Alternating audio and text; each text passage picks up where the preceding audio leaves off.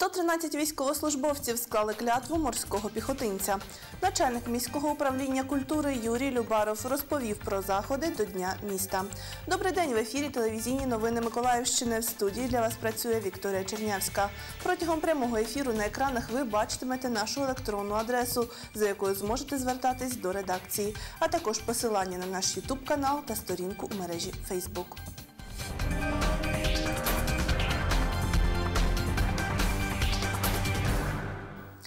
Сьогодні, в День морської піхоти України, військовослужбовці 36-ї окремої бригади морської піхоти склали клятву морського піхотинця. Усього 113 людей. На територію військової частини А-2802 журналістів не пускають. Там військові шикуються та перевіряють наявність особового складу. О 9.00 10 підрозділів шикуються біля пам'ятного знаку загиблим морським піхотинцям.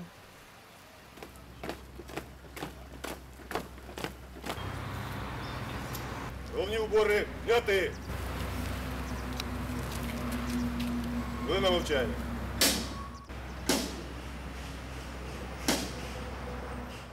Військовослужбовці стають на одне коліно, аби скласти клятву морського піхотинця. сумлінно виконувати свій військовий обов'язок, бути вірним спадкоємцем доблесті та честі відважних воїнів морських піхотинців. Клянусь! Клянусь! Стати командиром підрозділів, вручити берет морського піхотинця.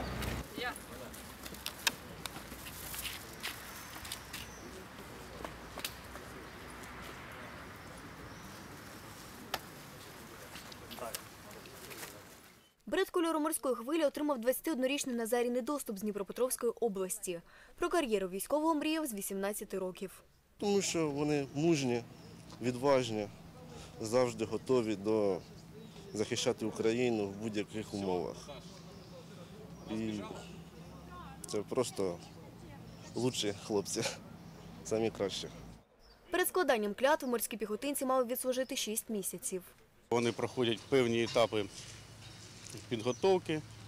Це психологічна смуга перешкод, це е, відбір е, е, шляхом відбору фізичної підготовки, а також теоретичні заліки і приведення до клятви саме в День морського піхотинця.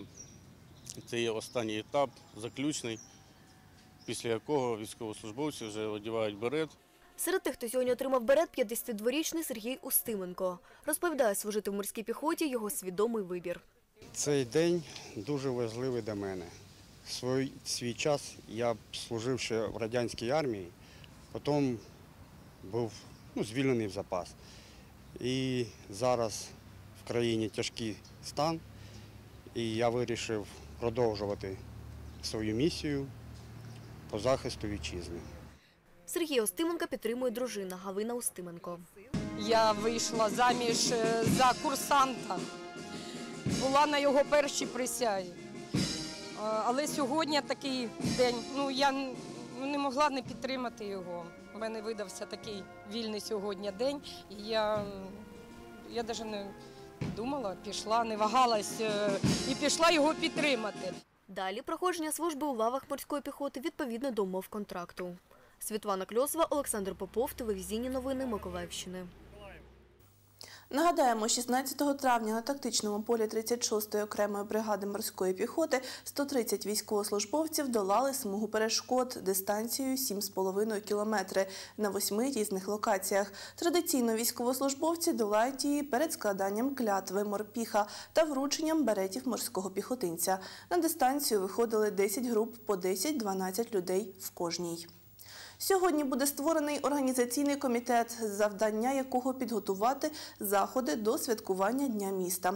Про це сказав мер Миколаєва Олександр Сінкевич. Що городяни та гості побачать під час святкування, розповів начальник міського управління культури Юрій Любаров. Усі заходи відбудуться за рахунок бюджету міської ради та підприємців міста. Суму, яку планують витратити, поки що не називають. Сьогодні мною буде підписано розпорядження, в якому буде створено організаційний комітет, що, який буде займатися питаннями всіми організаційними, правовими, е, фінансовими, е, креативними. Святкування буде е, весь тиждень, починаючи з понеділка і до неділі, але найбільш знакові заходи пройдуть у п'ятницю, 13 вересня, у суботу та у неділю. Вперше ми намагаємось провести такий е, карнавал, парад карнавал. Бували в нашому місті паради, були паради комунальної техніки, якщо пам'ятаєте, були різні види. А у цьому році ну, намагаємось залучити до цього кожного городянина. Нагадаємо, у другі вихідні вересня Миколаїв святкуватиме день народження. Цього року місту виповнюється 230 років.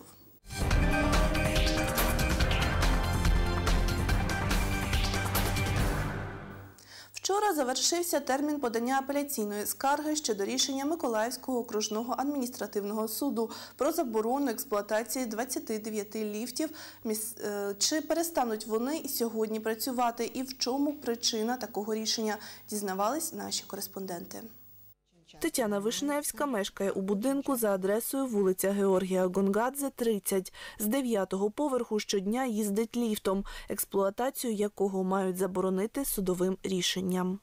Лифт у нас очень часто ломается. Ліфт у нас дуже часто ламається, дуже часто застрягають люди в цьому ліфті. Через день, через два приходять ремонтувати. Але якщо ліфт зламався у вихідні дні, то нам потрібно чекати понеділка. У понеділок буває, що і до кінця дня відремонтують. Буває в середині дня. Ліфт дуже старий, оскільки будинок старий. Ліфту понад 35 років. Він ламається останнім часом дуже часто, і звісно, його потрібно чи замінювати, чи якийсь капітальний ремонт робити. Капітального ремонту не було. Поки ліфти ще працюють, наказу про припинення їх роботи не було. Директор комунального підприємства Миколаїв Ліфт Максим Хівріч пояснює це продовженням судових розглядів. Суд першої інстанції прийняв рішення про виведення з експлуатації 29 ліфтів ТОВ е, «Миколаївдомсервіс». Е, Причина виведення з експлуатації – це непроведення своєчасно капітальних ремонтів ліфтів. Тобто наразі рішення прийнято, наскільки мені відомо, рішення оскаржено до е, апеляційного суду. Яке там рішення буде прийнято, ну нам невідомо, але е, було вирішено цей час, поки рішення не набрало законної сили е, разом з департаментом житлово-комунального господарства міста Миколаєва е, виготовити виготовити проєктно-кошторисні документації, в разі якщо суд прийме рішення про їх зупинку, щоб одразу приступити до капітальних ремонтів. Щодо стану ліфтів та причин відсутності капітального ремонту, ми звернулись до підрядника товариства з обмеженою відповідальністю Миколаїв Домсервіс. Виконавча директорка підприємства Ірина Олійник спілкуватись із журналістами відмовилась. Я Олейник Валентина Францевна. Комментарий я вам не даю. За словами заступника директора департаменту житлово-комунального господарства Олександра Рєпіна, ремонт ліфтів має фінансуватися із міського бюджету. Департамент ЖКХ держит этот вопрос на контроле. Департамент житлово-комунального господарства тримає це питання на контролі. Дуже багато залежить від депутатів депутатського корпусу, і ми сподіваємось, що на найближчому перерозподілі бюджету, чи це будуть гроші минулого року, чи за результатами минулого півріччя для робіт виділять гроші для ремонту цих ліфтів. Зараз іде проходження експертизи, і я думаю, що нас почують. У планах департаменту під час складання нової програми реформування житлово-комунального господарства до 2025 року виділити окремий розділ з утримання засобів і механізмів підвищеної небезпеки. Виходячи з того, що більшість ліфтового обладнання досить бальзаківського віку до 25 років і старше, тому особливу увагу необхідно усім житловим будинкам з ліфтами. За словами директора комунального підприємства Миколаїв Ліфт Максима Хівріча, у разі отримання фінансування зможуть оперативно виконати відновлювальні роботи. Якщо одразу буде виділено фінансування за місяць-півтора, ми виконаємо ці ремонти на цих ліфтах 29. Дата засідання щодо розгляду апеляційної скарги поки невідома, і ліфти ще працюють. Ми продовжуємо слідкувати за розвитком подій. Вікторія Чернявська, Олександр Попов, Ігор Чорний, Сергій Куропятніков. Телевізійні новини Миколаївщини. І на цьому я з вами прощаюся. Наступний випуск дивіться рівно о 19.00. Гарного вам дня!